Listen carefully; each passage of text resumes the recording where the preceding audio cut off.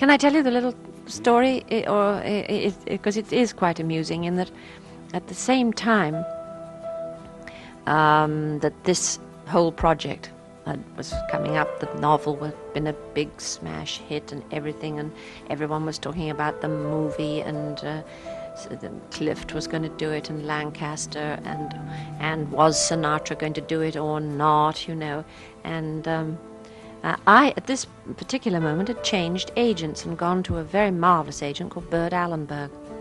And uh, I think uh, it was within a week of my having made the transfer, you know, how, how one does it professionally. You, you just make the transfer. And, you know, they wait, the other agency waits out the time.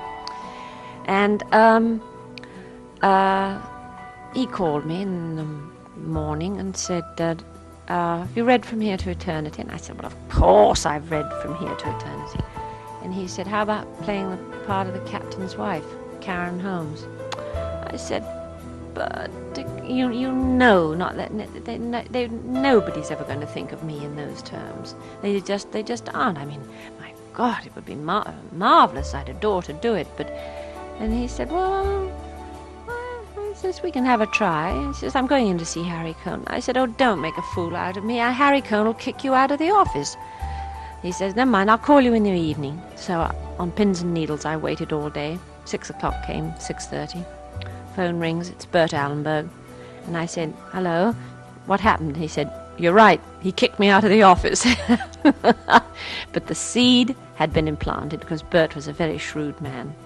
And um, Harry Cohn after having kicked Bert out of the office. And, and Bert Allenberg was not the kind of per- agent ever. You couldn't, you, you, one kicked out of offices when one just didn't. Uh, Harry called in the producer, Buddy Adler, the director, Fred Zinnemann, who were all on the lot working on the whole project.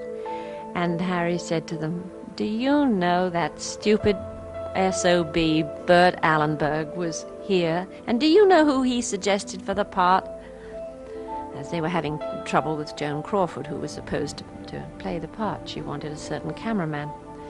And uh, so Buddy and Fred Zinnemann said, No, who? And uh, Harry Cohn said, Deborah Kerr, like that.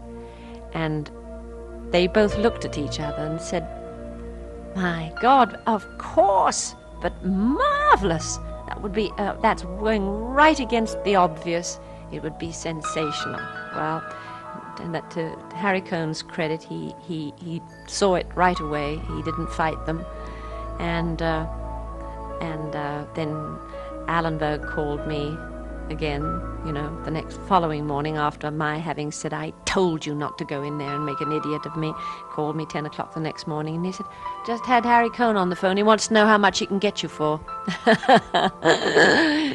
so that was how I got into that.